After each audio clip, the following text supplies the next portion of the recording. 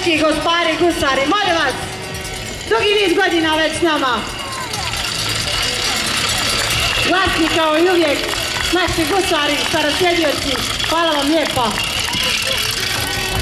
Ono su mili mali, a na starima svijet ostada, zato smo mi sad iza njih. Mi se, mi se zalažemo da samo gusari imaju pravo pljačkat, a ne kako koga voja. Ima vas tu pola što kradete i čekate kad će vam oprostiti dugove. Ne može.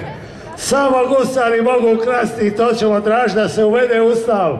Hvala vam lijepa. Samo gusari mogu krasti.